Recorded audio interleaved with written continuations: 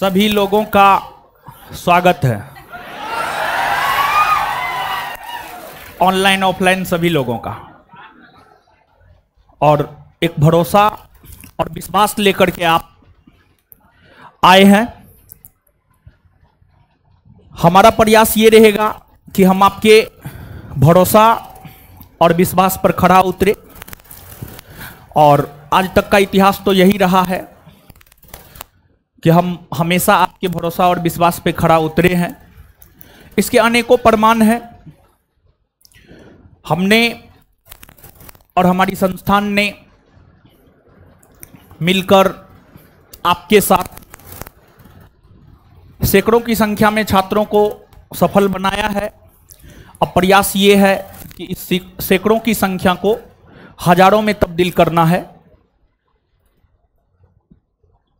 तो ठीक है, आप आए हैं, अच्छी बात है। आते तो हज़ारों लोग हैं, जुड़ते तो हज़ारों लोग हैं, लेकिन उसमें सफल बहुत कम लोग होते हैं, क्योंकि टीचर या आपके शिक्षक या आपके मार्गदर्शक की बातों को मानना उतना आसान नहीं होता है। तीन लोगों की बातों को मानना आसान नहीं होता है, एक माँ, दूसरे पिताजी, तीसरा टीचर। तो यही चीज़ है, और आप सभी का जो ये भरोसा और विश्वास है, वो सिर्फ़ और सिर्फ़ रिज़ल्ट के कारण है। संस्थान लगातार जो रिज़ल्ट दे रहा है, उस वजह से ये भीड़ आपको देखने को मिल रहा है, ये हुजूम आपको देखने को मिल रहा है। और मेरा अपना मानना है कि अगर आप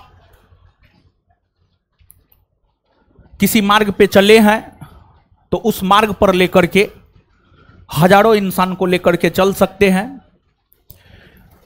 और बिहार दरोगा के परीक्षा में संस्थान का हमेशा से परचम लहराया है इसके पीछे एकमात्र कारण है कि स्वयं हम इस परीक्षा को चार बार क्वालिफाई किए हैं 1717, 2446, 2213 और 126 एक्साइज तो चार बार परीक्षा क्वालिफाई करने का अनुभव है। क्या करना है, क्या नहीं करना है, क्या पढ़ना है, क्या नहीं पढ़ना है।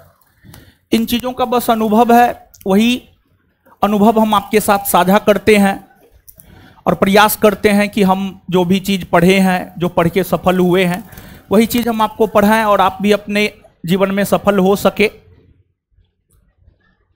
और देखिए, हल्ला हर कोई करता है इतना रिज़ल्ट हुआ, उतना रिज़ल्ट हुआ। लेकिन रिज़ल्ट दिखाता कोई नहीं है।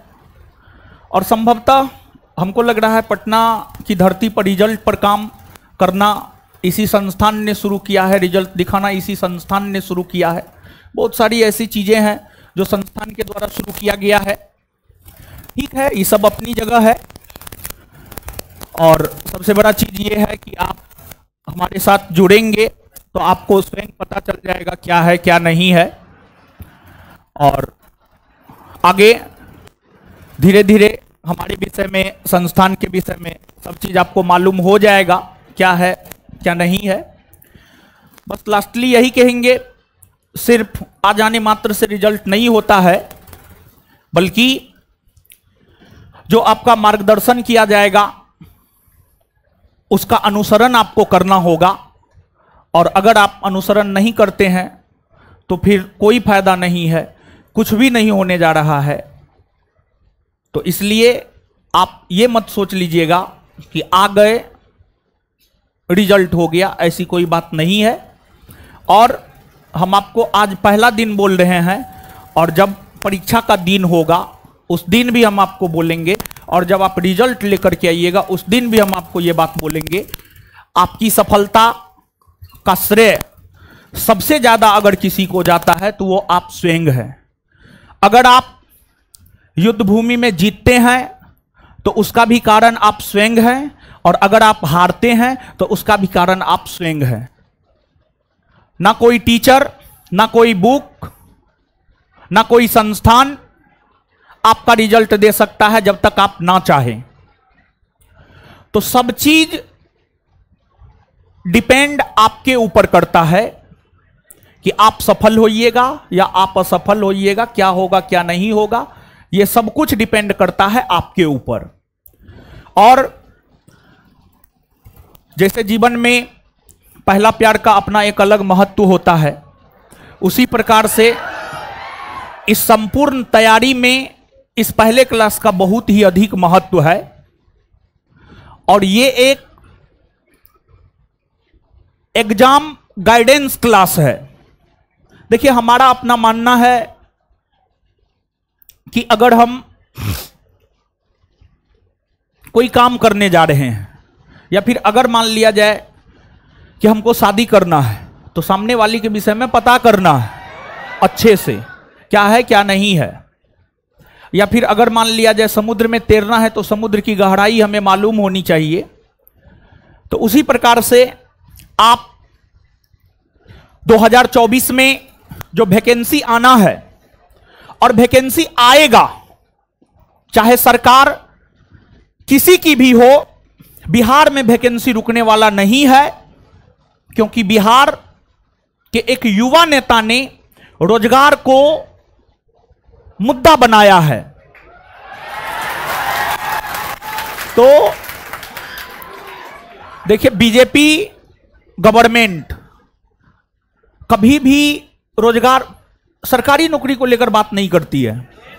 नहीं, सरकारी नौकरी को रोज़गार को लेकर के बात करती है, लेकिन बिहार में देख लीजिए, बीजेपी के डिप्टी सीएम हैं सम्राट चौधरी संभवतः, सम्राट चौधरी ही है उन्होंने पिछले दिनों एक स्टेटमेंट दिया, हिंदुस्तान अखबार में छपा था, दस लाख सरकारी नौकरी देंगे। दस लाख सरकारी नौकरी देंगे, ये बीजेपी के बिहार के डिप्टी सीएम सम्राट चौधरी का स्टेटमेंट है। तो आप इस बात को लेकर के आश्वस्त रहिए, सरकार किसी की भी हो, बिहार में वैकेंसी आना है हंड्रेड परसेंट आना है। तो 2024 में बिहार सब इंस्पेक्टर की वैकेंसी आनी है। अब देखिए वैकेंसी कितनी आ पाती है? एक हज़ार आती है, दो हज़ार आती है। हम ये फेंकने वाली बात नहीं करेंगे कि नहीं, हमको तो एसडीएम दिखाया है, हमको तो फलना दिखाया, इस प्रकार का कहीं कोई बात नहीं है। हम भी आप ही में से एक हैं। तो वैकेंसी आएगा, इतना पता है। वैकेंसी आएगा, लेकिन कितना आएगा ये हमको नहीं पता है, लेकिन आएगा ज़रूर। और बहुत जल्दी आएगा। कब आ जाएगा कहना मुश्किल है, लेकिन आएगा वैकेंसी ज़रूर। तो आप बिहार सब इंस्पेक्टर परीक्षा की तैयारी करना चाहते हैं। और इसीलिए आप यहाँ उपस्थित हुए हैं।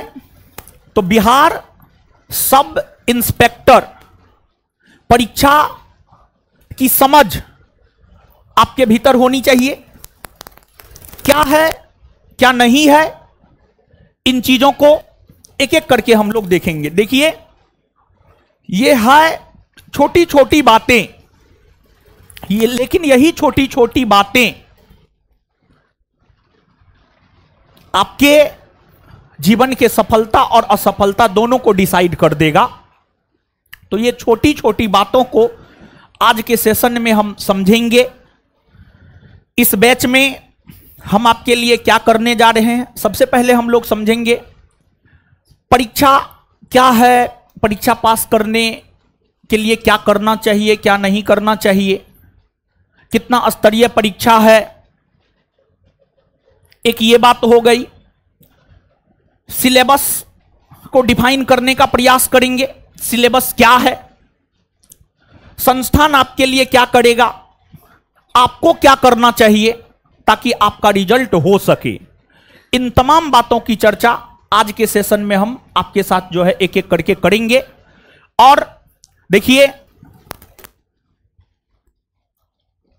हमारा अपना मानना है कि आप जिस भी परीक्षा की तैयारी करते हैं, उसके प्रीवियस ईयर क्वेश्चन पे आपकी पकड़ बहुत मज़बूत होनी चाहिए और आज जो हम लोग चीज़ों को समझेंगे, एक रिफरेंस ले रहे हैं, देखिए, हाल फ़िलहाल में 1275 पोस्ट की जो वैकेंसी आई हुई थी पिछले साल, उसकी प्रक्रिया जारी है। उस प्रक्रिया के आधार पर ही 1275 की जो वैकेंसी आई है, उस आधार पर ही चीज़ों को समझेंगे। क्योंकि 2024 में जो भी प्रक्रिया होगा 2023 के प्रक्रिया के तहत ही होगा। तो आज के सेशन में हम लोग समझने के लिए 1275 पोस्ट की जो वैकेंसी है, उसका जो विज्ञापन है, उसी को आधार बना करके चीज़ों को हम लोग समझेंगे। और 1275 प्रीलिम्स के टाइम में 17-18 टॉपिक हम गैस किए थे और वही 17-18 टॉपिक लगभग क्लास में करवाए भी थे। और लगभग पहला सेटिंग की हम बात करें, शत प्रतिशत क्वेश्चन लड़ गया था। करेंट का स्पेशली करेंट के संदर्भ में हम बात कर रहे हैं। और जो 17-18 टॉपिक चूज़ किए थे, वो चौबीस प्रीलिम्स में पूछा गया प्रश्न। और 2213 प्रीलिम्स में पूछे गए प्रश्नों को हमने आधार बना करके वो 17-18 टॉपिक चूज़ किया था और उन्हीं टॉपिकों को बच्चों को करवाया और बहुत बेहतर करके आए लोग। तो इसीलिए 2023 में जो वैकेंसी आई है, उनकी सभी बातों को ध्यान में रखते हुए ही आज चीज़ों को हम आपको डिलीवर करने का प्रयास करेंगे और आप इन बातों पर जो है गौर थोड़ा ज़्यादा फरमाएँगे। तो सबसे पहले बैच तो आज से शुरू है, ठीक है, अच्छी बात है। टाइम आपको पता ही है और सेंटर आपको पता ही है। ये तो हमारा फ़ोटो है, हमको जानते ही होंगे आप। नहीं जानते हैं तो जान जाइएगा। सबसे पहले परीक्षा। हमको पता है ये चीज़, बहुत सारे ऐसे लोग होंगे जो परीक्षा से अवगत होंगे, क्या है, क्या नहीं है। लेकिन इसमें कुछ ऐसे भी लोग होंगे जो अवगत नहीं होंगे। तो आप सभी लोग हमारे पास आए हैं। तो हम सबको बताएँगे। जहाँ तक परीक्षा का सवाल है, बिहार सब इंस्पेक्टर परीक्षा का सवाल है, ये जो परीक्षा है, त्रिस्तरीय परीक्षा है, त्रिस्तरीय परीक्षा है, तीन दरवाज़ा से आपको गुजरना होता है। त्रिस्तरीय परीक्षा है, तीन दरवाज़ा से गुजरना होता है। पहला होता है प्रीलिम्स, पहला प्रीलिम्स होता है। प्रीलिम्स में सौ क्वेश्चन होते हैं पर क्वेश्चन दो मार्क के होते हैं, यानी 200 मार्क के आपके प्रीलिम्स होते हैं। निगेटिव वन बाय टेन होता है। और प्रीलिम्स में पास करना आवश्यक होता है। जब आप प्रीलिम्स में पास करते हैं, तभी आप मेंस दे पाते हैं। अगर आप प्रीलिम्स पास नहीं करते हैं तो फिर आप मेंस के लिए क्वालिफाई नहीं हो पाते हैं। और जहाँ तक बिहार एसआई प्रीलिम्स और मेंस के सिलेबस का सवाल है, लगभग सेम है। थोड़ा बहुत क्वेश्चन के पैटर्न में अंतर होता है। सिलेबस लगभग सेम है। और ये जो बैच है प्रीलिम्स कम मेंस बैच है, और यहाँ पर हम आपको बताते चले, आप जो प्रीलिम्स में पेमेंट करेंगे, अगर आपका प्रीलिम्स में रिज़ल्ट होता है, होगा ही मैक्सिमम लोगों का होगा, सबका नहीं हो सकता है, ये बात हम कह सकते हैं, लेकिन मैक्सिमम लोगों का होगा, ये बात हम निश्चित तौर पर कह सकते हैं। और प्रीलिम्स में आप पास करते हैं। मेंस का आप तैयारी करते हैं। मेंस का तैयारी संस्थान के द्वारा इसी फ़ी में करवाया जाएगा। तो ये जो बैच है, आप देखे होंगे यहाँ पर अगर आप गौर करेंगे तो यहाँ पर आपको लिखा हुआ है प्रीलिम्स कम मेंस बैच और प्रीलिम्स कम मेंस बैच देने के पीछे एक कारण यह है कि दोनों के सिलेबस में कोई अंतर नहीं है। सिलेबस सेम है, थोड़ा बहुत डिफरेंस है, उस डिफरेंस को हम आपको समझा देंगे, लेकिन मैक्सिमम चीज़ 90 परसेंट चीज़ एकदम सेम है। 90 परसेंट पैटर्न परीक्षा का प्रीलिम्स का मेंस का, सब चीज़ सेम है। तो इसलिए प्रीलिम्स का मेंस बैच है, और इसमें प्रीलिम्स के साथ साथ मेंस की भी तैयारी आपका अभी से ही जारी रहेगा, और प्रीलिम्स में जो आप पेमेंट करेंगे, उसी आधार पर आपको मेंस भी पढ़ाया जाएगा मेंस के लिए आपको कोई भी नहीं लिया जाएगा, इस बात को भी आप ध्यान में रखें समझ गए? तो ये चीज़ है प्रीलिम्स कम मेंस बैच है। अब इसके बाद आप आगे आइएगा। चीज़ों को समझिएगा। चीज़ों को समझने से पहले एक तो पहला प्रीलिम्स होता है। प्रीलिम्स पास करते हैं, इसके बाद मेंस होता है। और मेंस जब आप पास करते हैं, तब जाकर के आपको फ़िज़िकल होता है। तो पहला दरवाज़ा ये है, दूसरा दरवाज़ा ये है, तीसरा दरवाज़ा ये है, अर्थात त्रिस्तरीय परीक्षा होता है। प्रीलिम्स में जितना वैकेंसी आता है, उसका 20 गुना रिज़ल्ट दिया जाता है। मान लिया जाए कि 1000 वैकेंसी आया तो 1000 का 20 गुना रिज़ल्ट दिया जाएगा, यानी 20000 जितना भी लोग फॉर्म भरेंगे 6 लाख, सात लाख, आठ लाख 10 लाख, जितना भी लोग फॉर्म भरेंगे, उसमें से 20000 का रिज़ल्ट दिया जाएगा। 20000 लोग मेंस देंगे। और मेंस का जहाँ तक सवाल है, मेंस में दो पेपर होता है, प्रथम पेपर हिंदी का होता है और दूसरा पेपर जीएस का होता है, सामान्य अध्ययन का होता है, दूसरा पेपर जीएस का होता है। सामान्य हिंदी में 100 क्वेश्चन होते हैं, दो मार्क के होते हैं 200 मार्क के होते हैं, यहाँ पर भी निगेटिव वन बाई टेन होता है। ये क्वालिफाइंग नेचर का होता है थर्टी परसेंट इसमें लाना होता है। लेकिन इस बार जो हिंदी का पेपर आया है, काफ़ी टफ पेपर आया है बहुत सारे लोग इस बार हिंदी में फेल करने जा रहे हैं, इसमें भी कोई शक नहीं है। बहुत सारे लोगों को तो कॉन्फिडेंस ही नहीं है कि हिंदी में पास करेंगे या नहीं करेंगे फेल तो करेंगे ही करेंगे। तो हिंदी क्वालिफाइंग नेचर का होता है फ़र्स्ट पेपर होता है, दो घंटे का ये भी होता है, फिर सेकेंड पेपर सामान्य अध्ययन, ये जो पेपर होता है, ये आपका मेन पेपर होता है। और इसमें जो मार्क आता है, इसी मार्क के आधार पर आपका बनता है मेरिट मेरिट बनता है। तो अगर आप मेंस भी क्वालिफाई करते हैं तो मेंस में बीस हज़ार अगर लड़का मेंस दिया है तो मेंस में वैकेंसी का छह गुना, एक हज़ार वैकेंसी है तो छह गुना रिज़ल्ट जो है मेंस में दिया जाएगा। तो छह हज़ार रिज़ल्ट मेंस में आएगा और छह हज़ार लोग फ़िज़िकल के लिए जाएँगे। अब फ़िज़िकल में कौन पास करते हैं, कौन फेल करते हैं, वो तो फ़िज़िकल के ऊपर डिपेंड करेगा। अगर फ़िज़िकल भी पास कर जाते हैं तो उसके बाद आपका मेरिट आटा है और मेरिट में नाम आ गया तो नौकरी हो गया, नहीं तो नौकरी नहीं हुआ। तो ये प्रक्रिया है। अब फ़िज़िकल के विषय में हम आपको यहाँ पर बताते चले। गर्ल्स के लिए हाइट किसी भी कैटेगरी के आप हैं। General OBC EBC SC ST किसी भी कैटेगरी के आप हैं। आपके लिए हाइट है 155 सेंटीमीटर एक भी सेंटीमीटर या पॉइंट में भी कम है तो कोई उपाय नहीं है। पहली बात बॉयज़ के लिए हाइट है। बॉयज़ के लिए अलग अलग कैटेगरी में अलग अलग है। जनरल कैटेगरी और ओबीसी एक पैंसठ। इसके बाद एक पैंसठ जनरल कैटेगरी और ओबीसी एक पैंसठ। इसके बाद ईबीसी ईबीसी एक साठ। फिर आपको एस सी एस टी भी एक साठ ही। एस सी एस टी भी एक साठ ही। समझ गए? तो ये है। और इसके बाद गर्ल्स के लिए रनिंग है छ मिनट में एक किलोमीटर। बॉयज़ के लिए रनिंग है साढ़े छः मिनट में सोलह सौ मीटर। और फिर बॉयज़ के लिए हाई जंप है चार फीट। लॉन्ग जंप है बारह फीट फिर गोला फेंक है। और गर्ल्स के लिए हाई जंप है तीन फीट लॉन्ग जंप है नौ फीट और फिर गोला फेंक है। फ़िज़िकल में ये सारा चीज़ होता है। और इसके बाद गर्ल्स के लिए यहाँ पर गर्ल्स का वेट जो है 48 किलोग्राम से कम नहीं होना चाहिए। गर्ल्स का वेट 48 किलोग्राम से कम नहीं होना चाहिए। इस आधार पर भी एक्सेप्शनल केस में कुछ लोग छठे हैं, जबकि छटते नहीं है, लेकिन फिर भी कुछ ओवर स्मार्ट टाइप की लड़कियाँ जो है अपना जमाने के चक्कर में जो है, इस में भी छठी है। पिछली बार की बात बता रहे हैं, एक दो लड़की छठी है। बाद में आई थी, बाद में आने से क्या होगा? ठीक है। जो होता है ऑन दी स्पॉट होता है, नहीं तो नहीं ही होता है। समझ गए।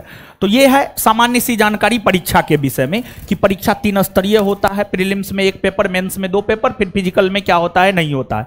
इस बात की जानकारी हमने आपको दे दिया। अब देखिएगा, आपको जो नोटिफिकेशन में, जो नोटिफिकेशन आता है बीपीएसएससी बोर्ड आपका परीक्षा कंडक्ट करवाता है, उसके द्वारा जो नोटिफिकेशन जारी किया जाता है, उसमें सिलेबस को लेकर के जो बातें कही गई है, वही चीज़ हम आपको यहाँ पर सिलेबस में लिखे हैं। और सिलेबस की समझ तो एकदम निश्चित तौर पर होनी ही चाहिए। देखिए, हमारा अपना मानना है कि अगर सिलेबस की समझ और क्वेश्चन बैंक पे पकड़ हो गया, पचास प्रतिशत आपका तैयारी हो गया बाद बाकी पचास प्रतिशत में आपको जो करना है, करते रहिए। लेकिन सिलेबस की समझ और क्वेश्चन बैंक पे पकड़, बराबर 50 प्रतिशत आपकी तैयारी संपन्न। प्रीलिम्स में नोटिफिकेशन में जो लिखा रहता है, सामान्य ज्ञान एवं समसामयिक मुद्दों से संबंधित प्रश्न पूछे जाएँगे। जनरल नॉलेज जनरल नॉलेज का बड़ी व्यापक अर्थ होता है। जो बिहार सब इंस्पेक्टर की परीक्षा है, यह परीक्षा ग्रेजुएट स्तरीय है। ग्रेजुएट स्तरीय परीक्षा है तो ग्रेजुएट लेवल तक का सामान्य ज्ञान में कुछ भी पूछ सकता है वो। हिंदी पूछ सकता है, इंग्लिश पूछ सकता है, संस्कृत पूछ सकता है, होम साइंस पूछ सकता है, सोशलॉजी पूछ सकता है, साइकोलॉजी पूछ सकता है, कुछ भी पूछ सकता है, लेकिन ऐसा होता नहीं। अगर मान लिया जाए होम साइंस, साइकोलॉजी सोशलॉजी से प्रश्न आते हैं, एक दो करके प्रश्न आते हैं। तो ये सब psychology sociology home science, Hindi, English, result के लिए मैटर नहीं करता है। जो पैटर्न रहा है, history, polity, geography, physics, chemistry, biology, economics, current, Bihar, miscellaneous, math, reasoning, यही सब चीज़ जितना का नाम लिए ये सब चीज़ मैटर करता है। अगर सोशलॉजी से प्रश्न आ गया, साइकोलॉजी से प्रश्न आ गया, होम साइंस से प्रश्न आ गया, ना कोई बच्चा पढ़ के जाता है और ना मास्टर पढ़ाता है। तो वो सब प्रश्न रिज़ल्ट को डिसाइड नहीं करता है और कुछ लोग तो उसी चक्कर में रह जाते हैं तो उस चक्कर में नहीं पढ़ना है। समझ गए? तो सामान्य ज्ञान यहाँ पर और डिफाइन करेंगे हम। तो प्रीलिम्स में ये है और मेंस में प्रथम पेपर जो हिंदी होता है गद्यान समानार्थक विलोम वाक्य त्रुटि, वाक्य सुधार पर्यावाची हिंदी साहित्य की रचना एवं लेखक, संधि समास कारक ये सब आते हैं। हिंदी क्वालिफाइंग करना आवश्यक होता है, तीस परसेंट मार्क लाना आवश्यक होता है, नहीं तो फिर आपका मेंस का कॉपी ही चेक नहीं होता है। तो यहाँ पर क्वालिफाइंग क्वालिफाई करना आवश्यक होता है। फिर द्वितीय पेपर समान अध्ययन का होता है जीएस का होता है, जिस पर आपका मेरिट बनता है, नीचे लिखा हुआ, द्वितीय पंत्र के अंक के आधार पर ही आपका मेरिट बनता है। इसमें देखिए मेंस में बड़ी सिलेबस स्पष्ट कर दिया है। सामान्य अध्ययन, सामान्य विज्ञान, नागरिक शास्त्र, यानी पॉलिटी, भारतीय इतिहास, इंडियन हिस्ट्री, भारतीय भूगोल, गणित एवं मानसिक योग्यता। ये आपका एक सिलेबस है। बोर्ड अपने नोटिफिकेशन में जितना देता है, उतना ये सिलेबस है। आगे जब आप पढ़ेंगे तो आपको सिलेबस के विषय में और भी बताया जाएगा। ये सिलेबस है। फिर देखिए, इस बात को आपको समझना है। ये आपके लिए आवश्यक है और बड़ी आवश्यक है। मतलब इसके ज़रिए हम आपको यह बतलाने का प्रयास कर रहे हैं कि आपको तैयारी करने के लिए समय कितना मिल सकता है। और नोटिफिकेशन में अगर आप पिछले साल का नोटिफिकेशन पढ़िएगा, आप लोग को तो उतना टाइम है नहीं, लेकिन हमारे पास तो टाइम है, हम तो पढ़ते हैं नोटिफिकेशन नोटिफिकेशन में स्पष्ट तौर पर इस बात का ज़िक्र है कि सारी प्रक्रिया छह माह के भीतर पूरी कर ली जाएगी। जिस रोज नोटिफिकेशन आया है नोटिफिकेशन आने के छह माह के भीतर सारी प्रक्रिया पूरी कर ली जाएगी नोटिफिकेशन में इस बात का ज़िक्र है। थोड़ा सा यहाँ पर हम आपको यह बात बतलाना चाहते हैं कि आपको कितना दिन के लिए कंसस रहना चाहिए। देखिए 1275 पोस्ट की जो वैकेंसी आई है, उसी संदर्भ में चीज़ों को समझाते हैं। यहाँ पर सब चीज़ इसलिए हम लिख दिए हैं ताकि टाइम कम लगे। विज्ञापन संख्या दो दो हज़ार तेईस, तीस नौ दो हज़ार तेईस को 1275 पोस्ट के वैकेंसी के लिए नोटिफिकेशन आया। नोटिफिकेशन आया है तीस नौ दो हज़ार तेईस, बारह सौ पचहत्तर पोस्ट की जो प्रक्रिया अभी चल रही है, उसका नोटिफिकेशन आया है तीस नौ दो हज़ार तेईस मतलब तीस सितंबर दो हज़ार तेईस को नोटिफिकेशन आया। फॉर्म अप्लाई आप कर सकते थे। पाँच दस दो हज़ार तेईस से पाँच ग्यारह दो हज़ार तेईस, एक माह तक फॉर्म आप भर सकते थे। इसके बाद आपका प्रीलिम्स का परीक्षा 17 बारह 2023 को हुआ। मेंस का परीक्षा 25 दो 2024 को हुआ। और टेंटेटिव फ़िज़िकल डेट है मार्च लास्ट वीक या अप्रैल में हो जाएगा फ़िज़िकल तो देखिए फॉर्म अप्लाई से लेकर सॉरी विज्ञापन संख्या से लेकर के प्रीलिम्स तक, विज्ञापन संख्या से लेकर के प्रीलिम्स तक। तीस सितंबर को आया है, सितंबर तो खत्म ही है, पूरा अक्टूबर, पूरा नवंबर और दिसंबर आधा। लगभग आपको ढाई महीना का समय मिलता है प्रीलिम्स की तैयारी के लिए। गौर करने वाली बात है ये। नोटिफिकेशन आने के तिथि से ढाई महीना का समय आपको प्रीलिम्स की तैयारी के लिए मिलता है। या मैक्सिमम आपको मिलेगा ना तीन माह, उससे ज़्यादा नहीं मिलेगा। मैक्सिमम आपको मिलेगा तो तीन माह। तो जिस तिथि को आपका नोटिफिकेशन आ गया, उस तिथि के तीन माह के भीतर आपका परीक्षा हो जाएगा, आप मान करके इस बात को चलिएगा। तो अभी तो नोटिफिकेशन आया नहीं है। तो पहले से हम लोगों को तैयारी करनी चाहिए ताकि बेहतर तैयारी हो सके। नोटिफिकेशन आने के बाद जो तैयारी करेगा, उसका कुछ नहीं होने जा रहा है। जो अभी से तैयारी करेगा, उसी का कुछ होगा। इसके बाद देखिएगा। प्रीलिम्स होने के लगभग दो माह, एक सप्ताह के भीतर मैक्सिमम दो माह, एक सप्ताह के भीतर प्रीलिम्स हुआ सत्रह दिसंबर को और मेंस लिया पच्चीस फरवरी को। तो सत्रह दिसंबर से सत्रह जनवरी सत्रह जनवरी से सत्रह फरवरी, दो माह और एक सप्ताह। तो लगभग प्रीलिम्स के बाद मेंस आप मान कर चलिए, दो माह या मैक्सिमम ढाई माह के भीतर आपका मेंस हो जाएगा। तो कुल मिलाकर के नोटिफिकेशन निकलने के बाद प्रीलिम्स के तैयारी के लिए आपके पास ढाई माह का समय है और मेंस की तैयारी के लिए आपके पास दो माह का समय है। तो इस पैटर्न को कुछ आप समझ पा रहे हैं। मतलब नोटिफिकेशन आने के बाद बहुत ज़्यादा समय आपको नहीं मिलेगा, इसीलिए तैयारी अभी से आप जारी कर दीजिए। कुल मिलाकर के यही बतलाना चाह रहे थे कि जो अगले वैकेंसी के लिए तैयारी करना चाहते हैं, बिना इंतज़ार किए हुए तैयारी करना आप शुरू कर दीजिए।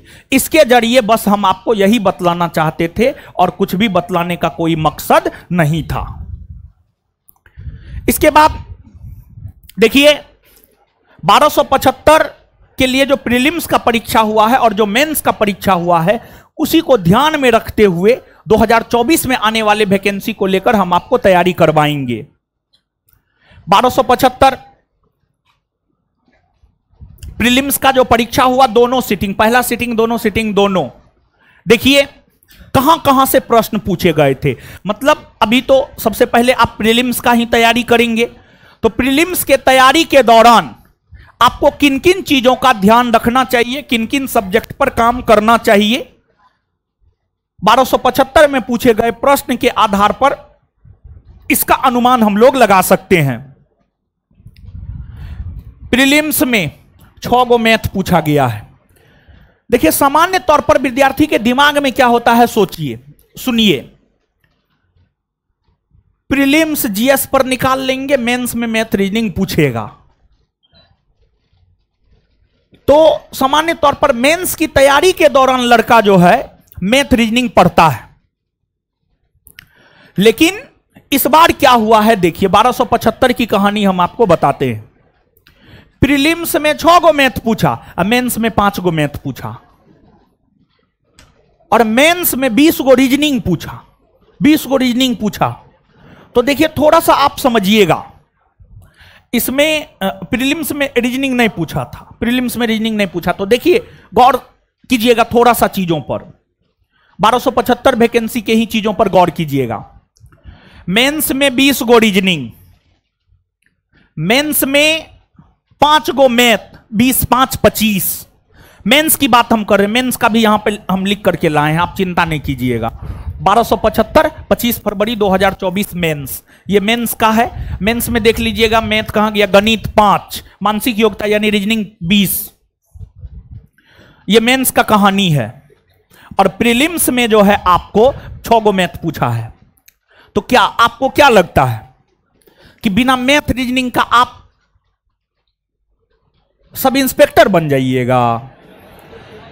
अगर आपके दिमाग में यह बात चल रहा है ना तो आप भरम में जी रहे हैं। समझ गए? भरम में जी रहे हैं। आप नहीं होने जा रहा है।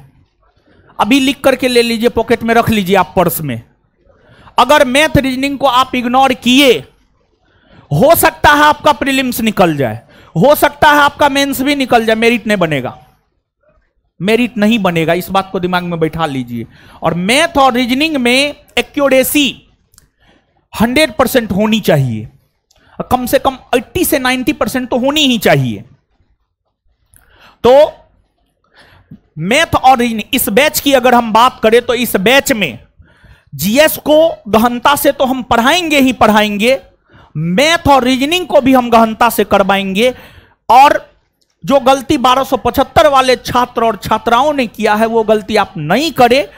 बोले थे हम उन लोगों को कि आप इग्नोर नहीं कीजिए नहीं कीजिए। प्रीलिम्स के टाइम में सब के दिमाग में ये बात था कि मेंस में पढ़ेंगे ना मैथ रीजनिंग अब मेंस में तैयारी करने के लिए टाइम ही नहीं दिया। तो मेंस में क्या पढ़ेगा मैथ रीजनिंग तो प्रीलिम्स के समय से ही मैथ और रीजनिंग को भी पढ़ते हुए जाना है, ताकि बाद में परेशानियों का सामना नहीं करना पड़े।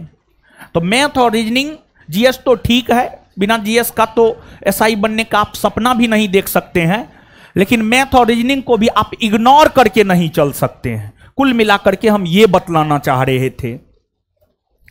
मैथ छ, हिंदी दो, बिहार तीन, इंग्लिश दो। हिस्ट्री चौदह, वर्ल्ड हिस्ट्री जिसमें तीन और इंडियन हिस्ट्री ग्यारह, पॉलिटी तेरह, ज्योग्राफी वर्ल्ड वर्ल्ड ज्योग्राफी एक इंडियन ज्योग्राफी ग्यारह। इकोनॉमिक्स दस फिजिक्स सात केमिस्ट्री छह बायोलॉजी सात करेंट अफेयर चौदह स्टेटिक्स चार, बराबर सौ। तो देखिए यहाँ पर दो तीन बात हम आपको गौर करवाएँगे। यहाँ पर दो तीन बात गौर करवाएँगे। एक बात हम आपको यह गौर करवा रहे हैं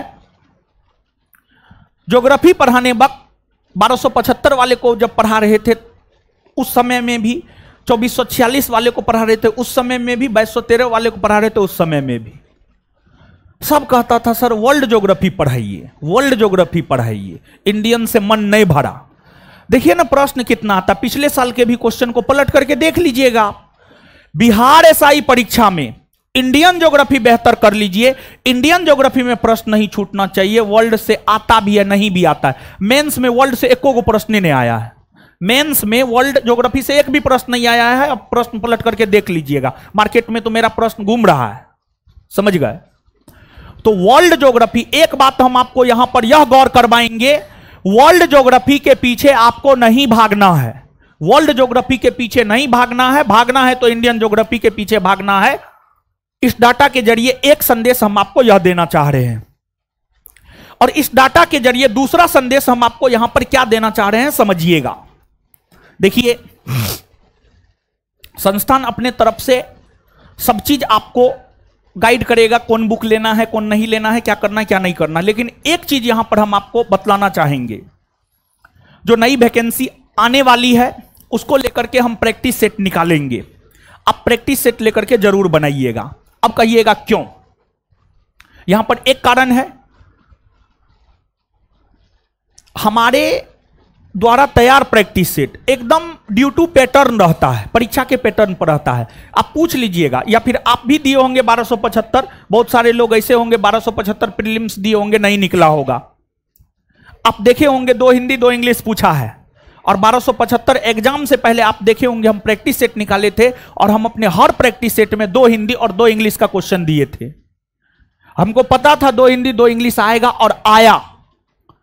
आया। कुछ किताब से भी हिंदी इंग्लिश लड़े थे। तो प्रैक्टिस सेट इसलिए ज़रूरी है। किसी और का प्रैक्टिस सेट कीजिए, नहीं कीजिए, हमारा प्रैक्टिस सेट तो आपको करना ही होगा। पैटर्न अगर आप समझना चाहते हैं तो। फिर मेंस अभी हुआ है सत्रह दिसंबर को। मेंस का भी हम प्रैक्टिस सेट लाए थे। हम अपने प्रैक्टिस सेट में आप जाकर के देखिए। पाँच से छह करेंट दिए हैं, पाँच से छह बिहार दिए हैं। और परीक्षा में भी पाँच से छह करेंट और पाँच से छह बिहार आया है। तो इसलिए यहाँ पर दूसरा संदेश हम आपको यह देना चाहते हैं। वैकेंसी आने के बाद जो हम प्रैक्टिस सेट निकालेंगे प्रीलिम्स में या मेंस में। ड्यू टू पैटर्न होगा, आप उसको लेकर के ज़रूर कीजिएगा। ये दो बात हम आपको बतलाना चाह रहे हैं।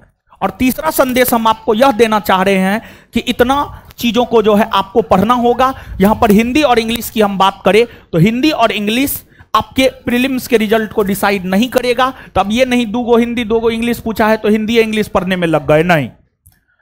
जहाँ पर ज़्यादा है, देखिए हिस्ट्री ज़्यादा पूछ रहा है पॉलिटी ज़्यादा पूछ रहा है ज्योग्राफी ज़्यादा पूछ रहा है। देख लीजिए ना हिस्ट्री चौदह गो है पॉलिटी तेरह गो है ज्योग्राफी बारह गो है टोटल इकोनॉमिक्स दस गो है। देख लीजिए इकोनॉमिक्स दस गो है।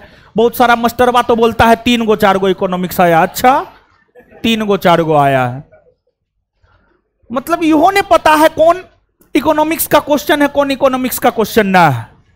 प्रीलिम्स की बात है, ये दस गो इकोनॉमिक्स आया है मेंस में दो गो आया है, और पैटर्न यही रहा है, हम आपको एक बात, एक और यहाँ पर संदेश देना चाह रहे हैं। इकोनॉमिक्स पे पकड़ प्रीलिम्स में बना लीजिए। प्रीलिम्स में इकोनॉमिक्स के प्रश्न 1275 में भी ज़्यादा रहे हैं 2213 में भी ज़्यादा रहे हैं 2446 में भी ज़्यादा रहे हैं, लेकिन मेंस में इकोनॉमिक्स नहीं ही पूछता है, या पूछता है तो मैक्सिमम दो या तीन पूछेगा, या नहीं पूछेगा। तो प्रीलिम्स में इकोनॉमिक्स डिसाइड करेगा आपके रिज़ल्ट को। तो जो अगली यहाँ पर गौर करने वाली बात है प्रीलिम्स की तैयारी के दौरान इकोनॉमिक्स पर ज़्यादा ज़ोर देना है मेंस की तैयारी के दौरान इकोनॉमिक्स पर ज़्यादा ज़ोर नहीं देना है, क्योंकि मेंस में मात्र दो गो इकोनॉमिक्स पूछा है। अगला पीडीएफ आप देखेंगे तो अगला पीडीएफ आपको मेंस का ही है, जो 25 फरवरी को हुआ है। देख लीजिए आप यहाँ पर अर्थव्यवस्था दो। प्रीलिम्स दस, मेंस दूगो। तो कहाँ पर अर्थव्यवस्था इकोनॉमिक्स कहाँ रिज़ल्ट डिसाइड करेगा? आप थोड़ा स्वयं सोच करके देखिए। तो इकोनॉमिक्स प्रीलिम्स के रिज़ल्ट को डिसाइड करता है, मेंस के रिज़ल्ट को इकोनॉमिक्स डिसाइड नहीं करता है। इसके बाद जो आपको मेंस के मेंस के परीक्षा हुए हैं, इसमें इतिहास से देख लीजिए। छ छ बारह, दो, चौदह। इसमें भी चौदह प्रश्न आए हैं। छ गो प्राचीन से आया है, दो गो मध्यकालीन से आया है और छ गो आधुनिक से आया है और विश्व इतिहास से एगो आया है। चौदह एक पंद्रह प्रश्न हुए।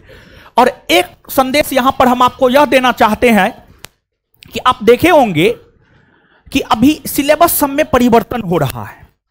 और जहाँ तक हमें याद है, प्रीलिम्स में भी मध्यकालीन भारतीय इतिहास एक से दो प्रश्न पूछता है और मेंस में भी एक से दो। मतलब इतिहास की भी अगर हम बात करें तो इतिहास में तीनों सेगमेंट पे ज़ोर नहीं देना है, लेकिन दो सेगमेंट पर भारतीय इतिहास में ज़रूर ज़ोर देना है। एक प्राचीन और दूसरा आधुनिक। एक प्राचीन और दूसरा आधुनिक। ये दो सेगमेंट पर ज़्यादा ज़ोर देना है। इसके बाद प्रीलिम्स में वर्ल्ड हिस्ट्री बहुत कुछ डिसाइड करता है। प्रीलिम्स में वर्ल्ड हिस्ट्री से तीन प्रश्न आए थे। पहला सीटिंग में भी तीन प्रश्न आए थे और दूसरा सिटिंग में भी तीन प्रश्न आए थे। तो प्रीलिम्स में वर्ल्ड हिस्ट्री डिसाइड करता है चीज़ों को और वर्ल्ड हिस्ट्री से प्रश्न पूछे भी जाने चाहिए। और इसलिए प्रश्न पूछे जाने चाहिए क्योंकि नाइन्थ और टेंथ में वर्ल्ड हिस्ट्री है एनसीआरटी जाकर के देखिएगा। और यहाँ पर हम आपको बता दें कि एनसीआरटी का शॉर्ट नोट हम आपको शुरू में ही अवेलेबल करवा देंगे। और हमारा प्रयास ये रहेगा कि जब हम इतिहास पढ़ाएँ तो आधुनिक के साथ साथ वर्ल्ड हिस्ट्री को भी जो है लेकर के चले। वर्ल्ड हिस्ट्री हम आपको पढ़ा दे एनसीआरटी एनसीआरटी के थ्रू वर्ल्ड हिस्ट्री हम आपको पढ़ा दे। समझ गए? तो ये मेंस का है, भारत का भूगोल। देख लीजिए, सिर्फ़ भारत का भूगोल। तेरह भारतीय राज व्यवस्था तेरह अर्थव्यवस्था, दो। समसमायिकी छ देखिए, सामान्य तौर पर पहले क्या होता था कि करंट सिर्फ़ और सिर्फ़ प्रीलिम्स में पूछता था। इस बार मेंस में भी प्रीलिम्स पूछा है। तो आप स्वयं बताइए, पहले यह था कि प्रीलिम्स में मैथ नहीं पूछेंगे। अब मैथ प्रीलिम्स मेंस दोनों में पूछ रहा है। पहले यह था कि करंट सिर्फ़ प्रीलिम्स में पूछेंगे, अब प्रीलिम्स मेंस दोनों में करंट पूछ रहा है। तो आप हमको ये बताइए कि आप प्रीलिम्स का अलग तैयारी कीजिएगा मेंस का अलग तैयारी कीजिएगा, नहीं। अगर आप ऐसा सोच रहे हैं तो आप गलत सोच रहे हैं। आपको प्रीलिम्स और मेंस दोनों की तैयारी जो है साथ साथ करना होगा। प्रीलिम्स और मेंस दोनों की तैयारी जो है आपको साथ साथ करना होगा। इस बात को आप दिमाग में बैठा लीजिए, समझ गए? और यहाँ पर जो है, फिर बिहार है तीन, भौतिकी है पाँच, रसायन शास्त्र है पाँच, जीव विज्ञान है पाँच, गणित पाँच, मानसिक योग्यता बीस विविध छ, समाज शास्त्र दो। ये आपको मेंस में पूछे गए प्रश्न है। तो कुल मिलाकर के आप प्रीलिम्स देखिए या मेंस देखिए, दोनों में हिस्ट्री, पॉलिटी, ज्योग्राफी, ये तीनों सब्जेक्ट का वेटेज काफ़ी ज़्यादा है। आप प्रीलिम्स में गिन लीजिए, हिस्ट्री, पॉलिटी, ज्योग्राफी, प्रीलिम्स में चौदह, एक, चौदह चौदह, तेरह कितना हुआ? सत्ताईस। सत्ताईस बारह? आए? सत्ताईस बारह? उनचालीस। उनचालीस हुआ?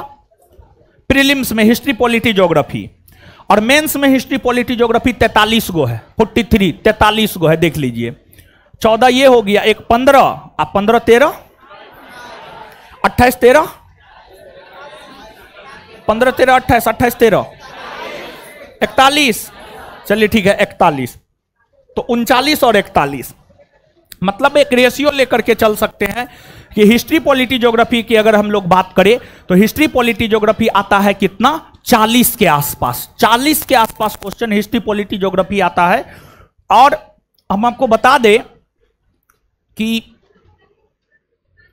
अगर आप हमसे हिस्ट्री पॉलिटी ज्योग्राफी पढ़ते हैं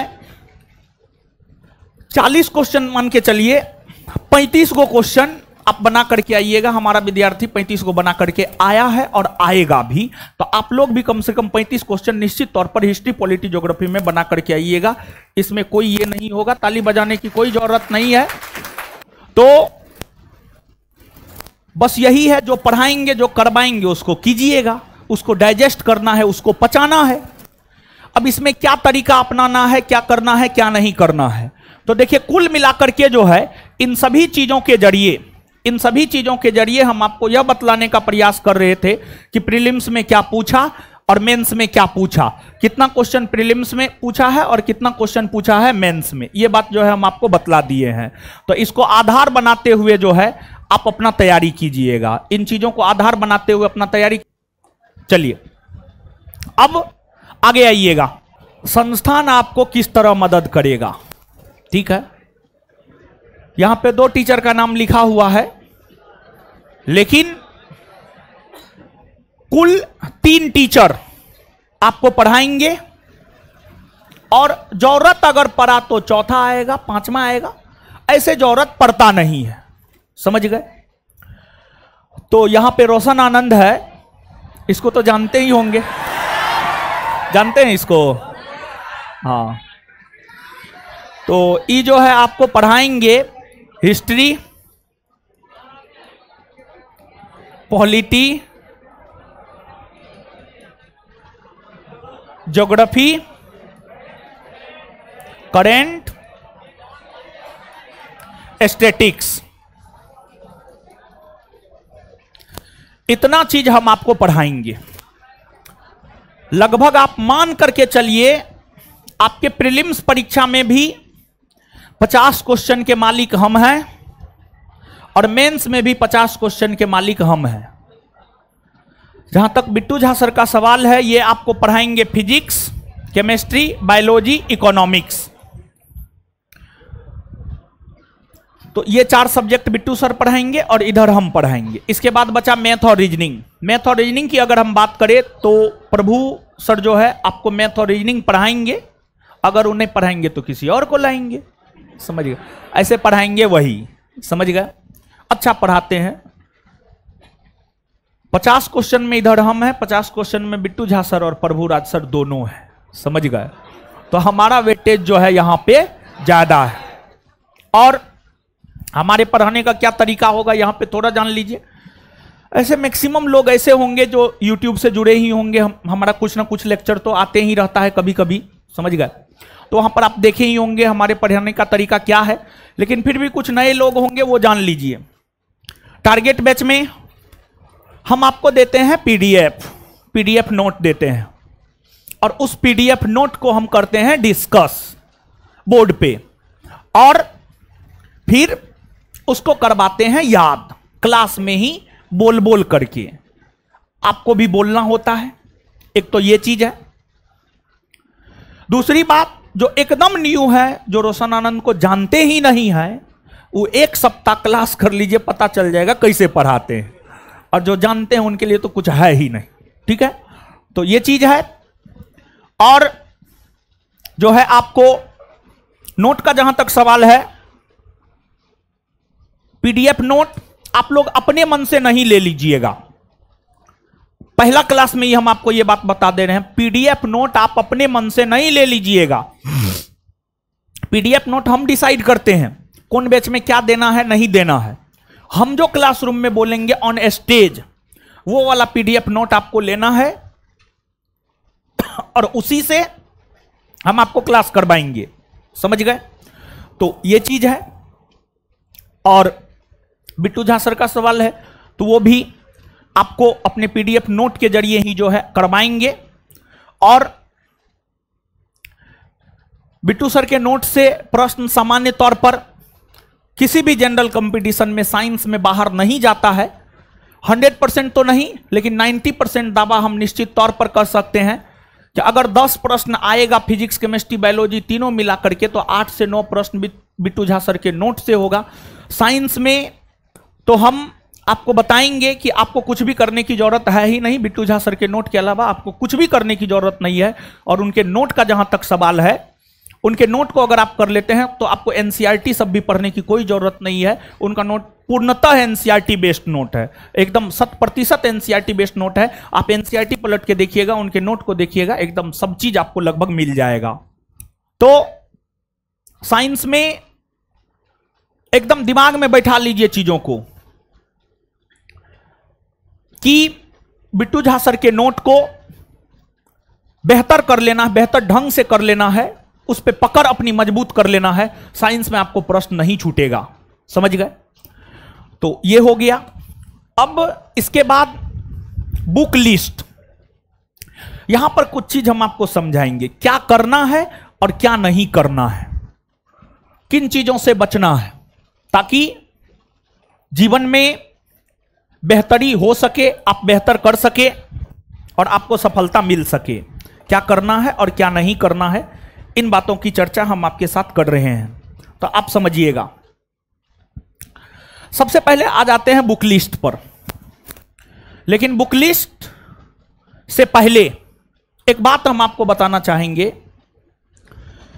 कि आप अपने संसाधन को सीमित कीजिए।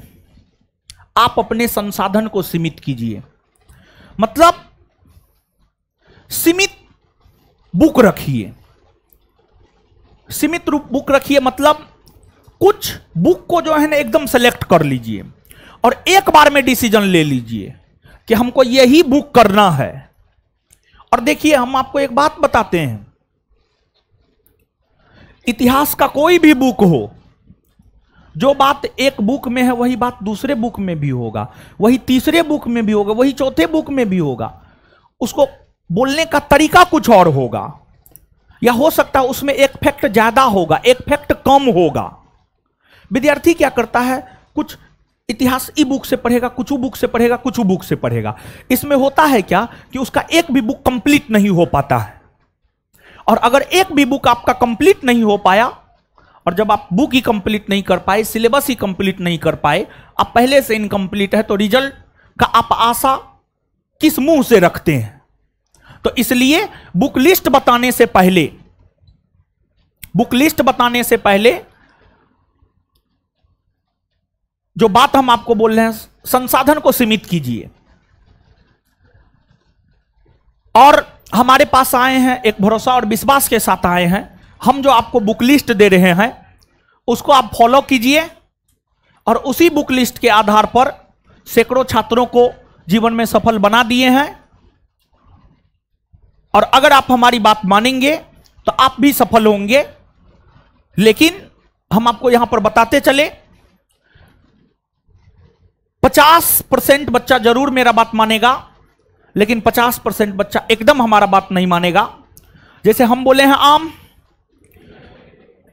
वो किसी तीसरे को देखा, इमली पढ़ते हुए, वो पढ़ेगा इमली।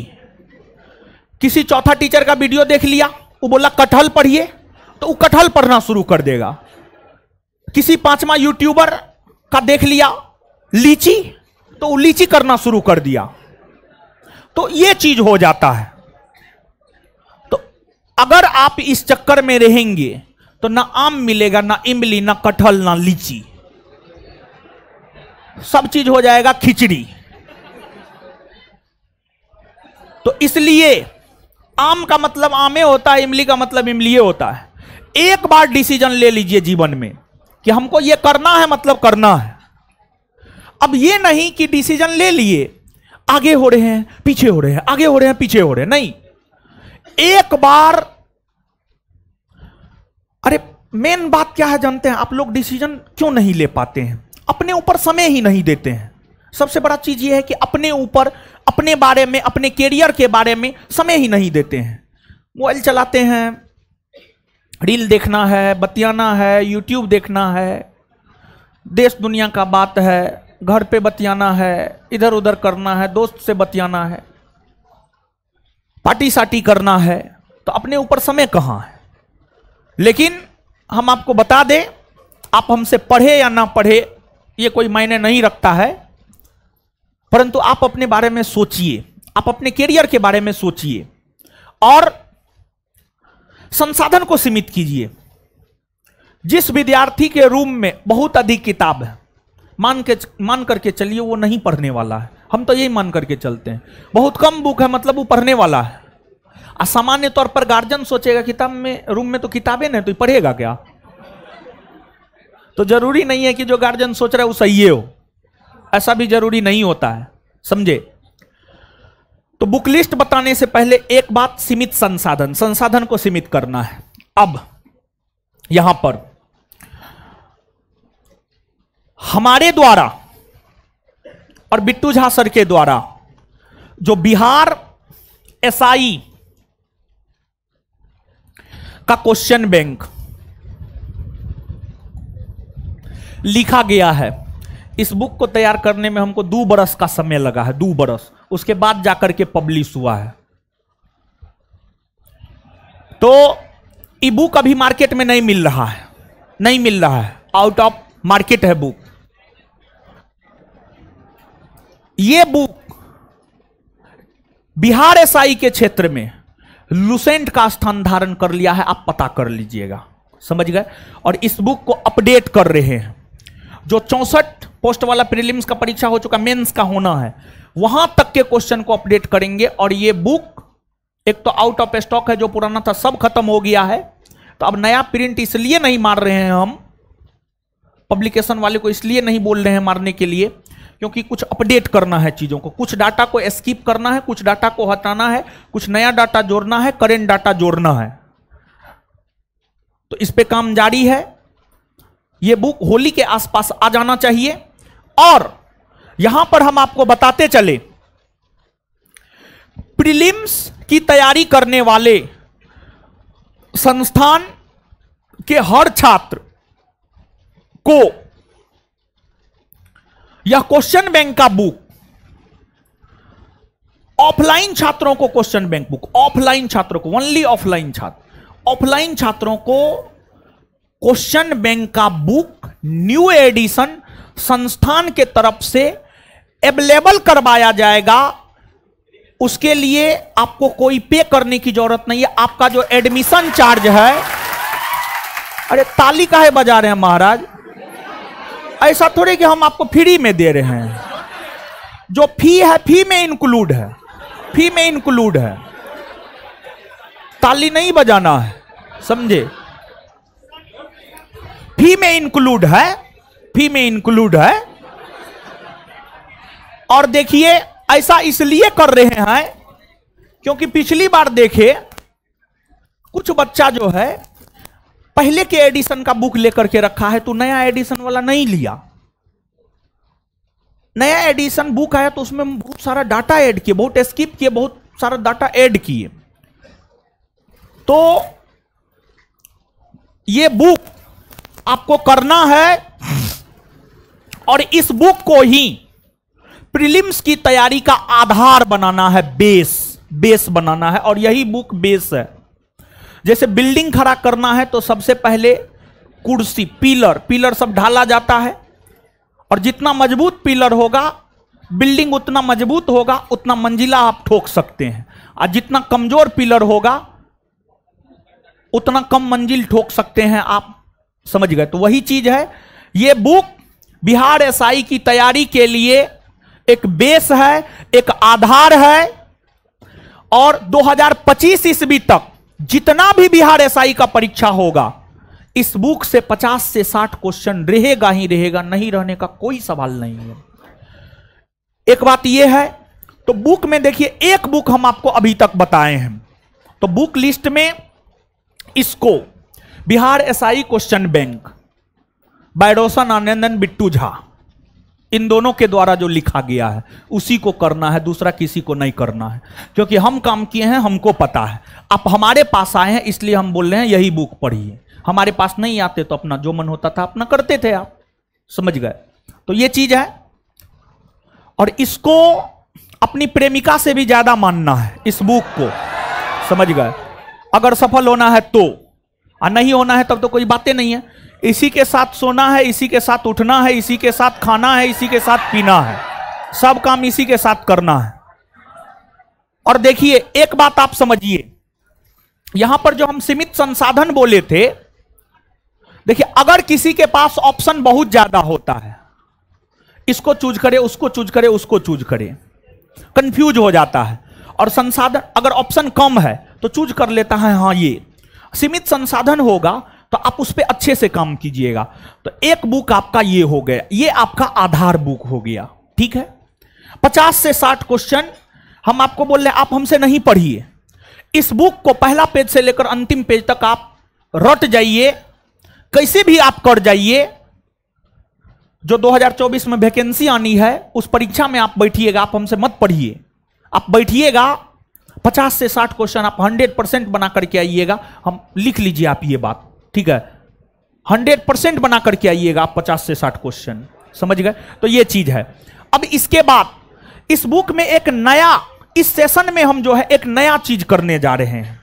हम ये सोच रहे हैं कि थोड़ा सा जितना मेहनत हम आपके साथ करेंगे, करते हैं थोड़ा सा हम अपने मेहनत को और बढ़ाएँ।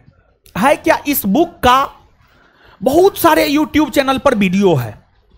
अनेकों यूट्यूब चैनल पर वीडियो है, कम से कम सैकड़ों यूट्यूब चैनल पर इस बुक का वीडियो है। आप यूट्यूब चैनल खोल करके देख लीजिएगा। इससे आपको इस बुक के महत्व का पता चल जाएगा। अब एगो यूट्यूबर पागल हो सकता है, दूगो हो सकता है, सैकड़ों तो नहीं ना हो सकता है। है कि ना? तो हम ये सोचे हैं कि इस बुक को लेकर के हम वीडियो बनाएँगे और स्पेशली आप लोगों के लिए संस्थान के एप्लीकेशन पर वो वीडियो अवेलेबल करवाएँगे। और आप लोग जो है, अपने से अगर नहीं कर पाइएगा, प्रयास तो कीजिएगा अपने से करने का, लेकिन अपने से अगर नहीं कर पाइएगा तो संस्थान के एप्लीकेशन पर इस बुक को लेकर जो हम वीडियो बना करके देंगे, उस वीडियो को सुन लीजिएगा, या ऑडियो फॉर्मेट में देंगे, या वीडियो फॉर्मेट में देंगे, लेकिन तरीका अलग होगा। कैमरा के सामने आकर के नहीं, समझ गए? कैमरा के सामने नहीं, कैमरा के पीछे, समझ कैमरा के पीछे रह करके जो है, इस बुक को कंप्लीट करवाने का हम प्रयास करेंगे, हम स्वयं करेंगे, या फिर होगा तो कैमरा के सामने ही आकर के कर देंगे, वो देख लिया जाएगा उस समय के अनुसार। तो कुल मिलाकर के जब हम आपको इस बुक को आधार बनवा रहे हैं तो इस बुक को हम कंप्लीट भी करवाएँगे, चाहे जिस भी रूप में हो। समझ गए? दूसरा बुक संस्थान के द्वारा जो भी क्लास नोट या पीडीएफ दिया जाएगा। संस्थान के द्वारा जो भी क्लास नोट या पीडीएफ दिया जाएगा। तीसरा, परीक्षा के एक माह पहले हमारे द्वारा करंट निकाला जाता है, इस बार भी निकाला गया था, इस बार भी निकाला जाएगा। करंट निकाला जाएगा, उसको कर लेना है और एग्ज़ाम से एक माह पहले या डेढ़ माह पहले प्रैक्टिस सेट आएगा। आप सिर्फ़ उसको कर लीजिएगा। प्रैक्टिस सेट आएगा, आप सिर्फ़ उसको कर लीजिएगा। और सिर्फ़ अगर आप इतना भी करते हैं ना, और हमको पूरे विश्वास है कि अगर आप इतना करते हैं और अच्छे से चीज़ों को डाइजेस्ट कर जाते हैं, दुनिया का कोई ताकत आपके रिज़ल्ट को नहीं रोकेगा तो बुक लिस्ट को लेकर के ये बातें हुई। अब क्या करना है और क्या नहीं करना है? क्या करना में है सुनिए। सबसे पहली बात क्लास रेगुलर करना है, जो कि आप नहीं कीजिएगा। पहली बात। दूसरी बात, चीज़ों का जितना अधिक से अधिक बार हो सकता है रिवीजन करें रिवीजन जितना ज़्यादा करेंगे, आप उतना परफेक्ट बनेंगे, उतना बेटर बनेंगे। ये बोल रहे हैं, क्या करना है में? क्या करना में है? पहले क्लास रेगुलर करना है। क्लास रेगुलर करना है। दूसरी बात है, रिवीजन जितना ज़्यादा से ज़्यादा करना है। जितना ज़्यादा से ज़्यादा रिवीजन करना है। तीसरी बात, लक्ष्य स्पष्ट होना चाहिए, उसमें कोई भटकाव नहीं होना चाहिए। अब ये नहीं, दरोगो बनना है, टेक्नीशियनों बनना है। ड्राइवरों बनना है। तो इसमें ना दरोगा बन पाइएगा, ना टेक्नीशियन ना दरो, ना ड्राइवर कुछ नहीं बन पाइएगा। तो अपना लक्ष्य एकदम स्पष्ट कर लीजिए। और आप सभी लोग आए हैं, आपका लक्ष्य स्पष्ट है। हम तो यह मान करके चल रहे हैं, आपका लक्ष्य है दरोगा बनना, इसलिए आप आए हैं। और अगर आपका लक्ष्य स्पष्ट नहीं होता तो आप नहीं आते। तो हम यह मान करके चल रहे हैं कि आपका लक्ष्य स्पष्ट है। अगली बात। देखिए,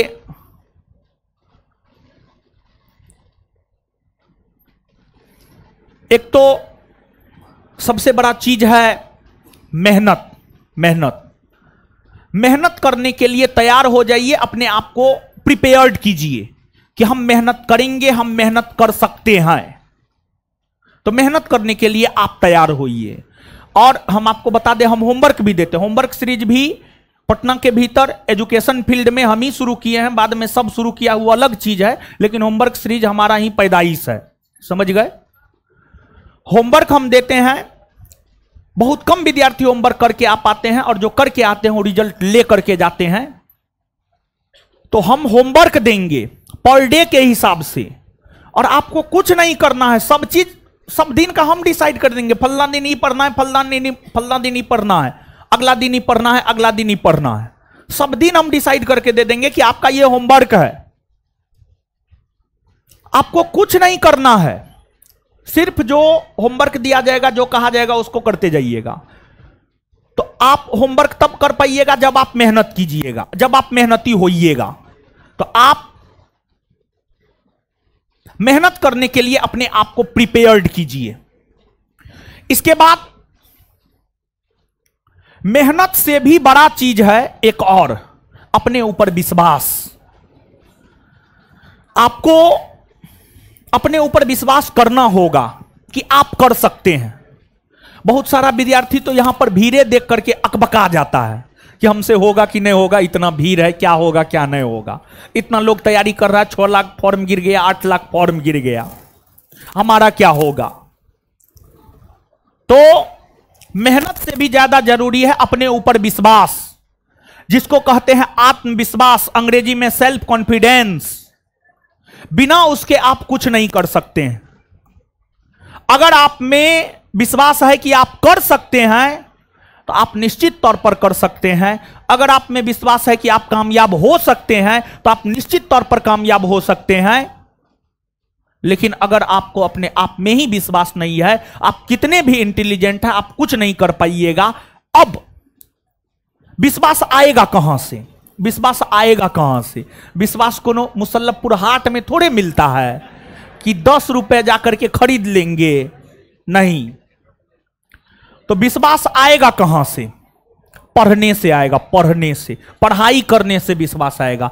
अगर आप पढ़ाई कीजिएगा ना रूटीन फॉलो होगा ना टेस्ट में टॉप कीजिएगा ना तो अपने आप विश्वास आ जाएगा कि हम कर सकते हैं। तो विश्वास आएगा काम करने से, पढ़ने से, मेहनत करने से विश्वास आएगा। तो अपने आप में विश्वास पैदा करने के लिए मेहनत करना शुरू कर दीजिए, मेहनत कीजिए, पढ़िए। इसके बाद हमेशा पॉजिटिव माइंडेड रहने का प्रयास कीजिए। रिज़ल्ट हुआ, ठीक है। नहीं हुआ, तब भी ठीक है।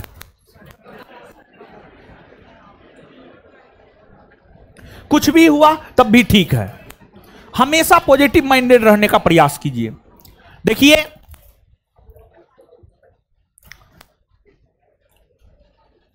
होता क्या है जानते हैं? आप जैसा सोचते हैं आप वैसा बन जाते हैं। अगर आप सकारात्मक सो, सोच के होंगे सकारात्मक सोचेंगे आपके साथ भी सकारात्मक चीज़ ही होगा। आपका रिज़ल्ट भी सकारात्मक होगा। लेकिन मान लिया जाए कि आपका सोच ही निगेटिव है आपके जीवन में भी निगेटिव ही होगा और आपका रिज़ल्ट भी निगेटिव ही आएगा। तो सकारात्मक सोच डेवलप करना है। अब सकारात्मक सोच कैसे आएगा? सकारात्मक माहौल में रहिए। सकारात्मक माहौल में रहिए, सकारात्मक माहौल में रहने से सकारात्मक सोच आता है। तो अपने आसपास के माहौल को पॉजिटिव बनाइए।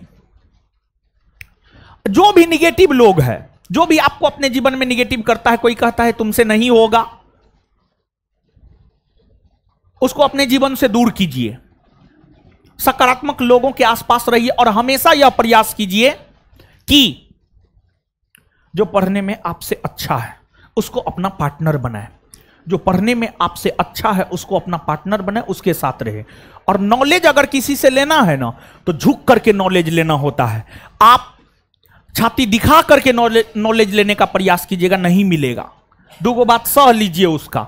अगर नॉलेज लेना है तो। तो अच्छे लोगों के संसर्ग में रहिए। और इसके बाद लास्ट लाइन है, अनुशासन डिसिप्लिन अंग्रेज़ी में। डिसिप्लिन का मतलब क्या है जानते हैं?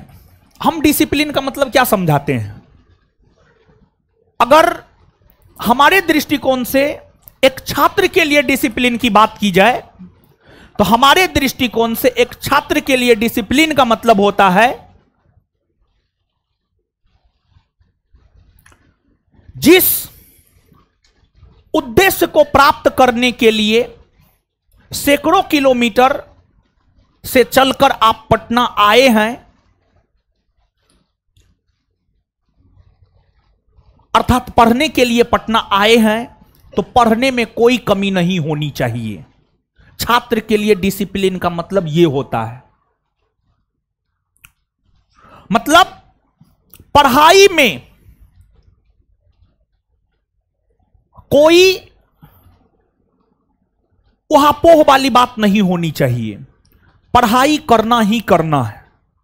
भले एक दिन नहीं स्नान किए, भले एक दिन खाना नहीं मिला, भले थोड़ा बहुत माथा दर्द कर रहा है, लेकिन फिर भी पढ़ाई को नहीं छोड़ना है।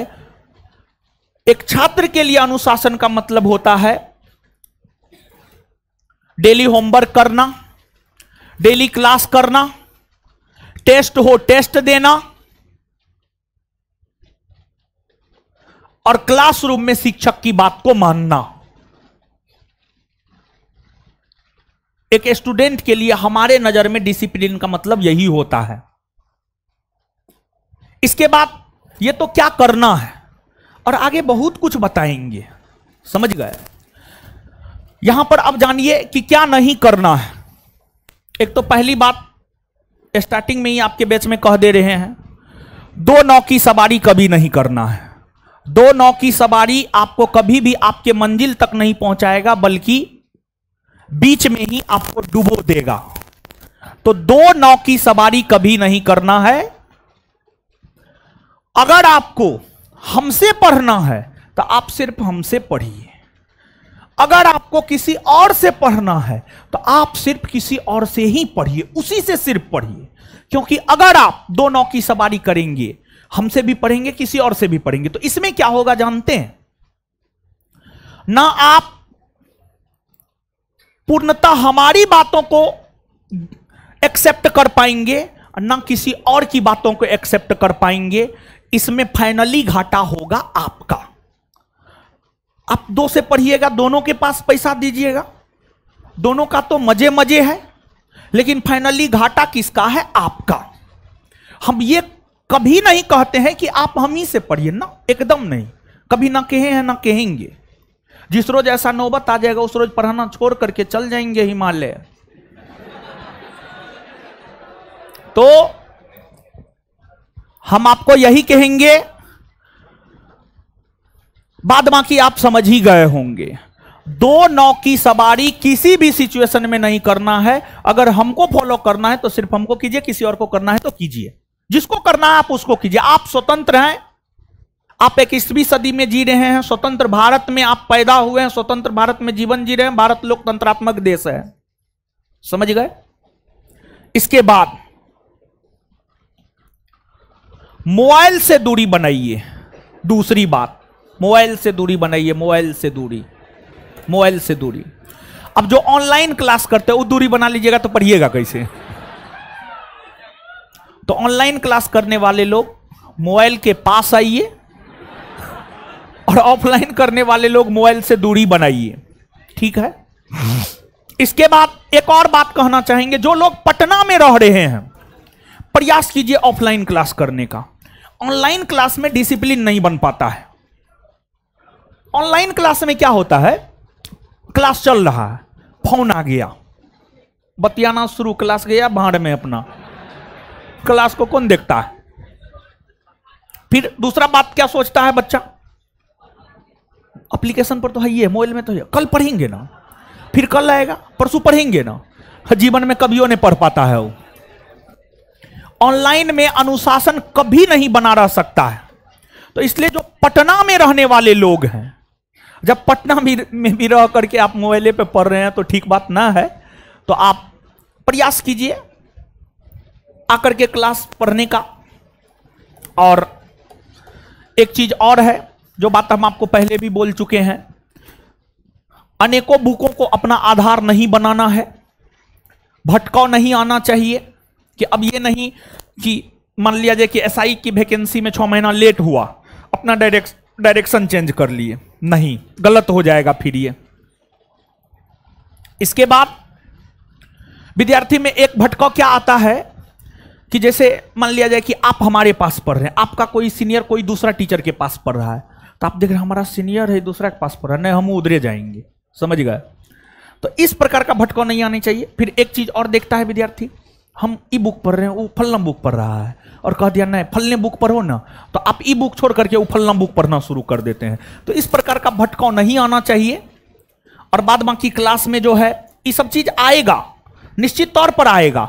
नहीं आने का सवाल पैदा नहीं होता है कि नहीं आई सब चीज़। एकदम हंड्रेड परसेंट आएगा तो ये सब चीज़ नहीं आना चाहिए। स्ट्रेट फॉरवर्ड होइए, स्ट्रेट फॉरवर्ड। एक बार डिसीज़न ले लीजिए, उस पर काम कीजिए शुरू से लेकर अंतिम तक। सफल हो या असफल? सफल होंगे तो बल्ले बल्ले, असफल होंगे तो ये प्रयास करेंगे कि असफल क्यों हुए? उस असफलता के कारण क्या है? उसको ढूँढने का प्रयास करेंगे, फिर जो कमी नज़र आएगा, उस कमी पर काम करेंगे। सफल हो जाइएगा। यही है। तो ये जानकारियाँ हुई। इसके बाद आगे। बैच में तो हम आपको बता ही दिए हैं क्या क्या देंगे। लेकिन उससे आगे सुनिए। अब। फाइनल बात करने जा रहे हैं हम आपके साथ। आप जिस बैच में आए हैं, इस बैच में आपको क्या क्या मिलेगा फ़ी आप ऑफ़िस में पता कर लीजिएगा।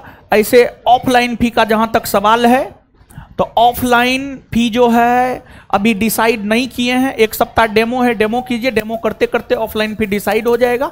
पिछले बार जितना था उसी के आसपास फ़ी रहेगा ऑफलाइन पिछले बार जितना भी था, उसी के आसपास रहेगा।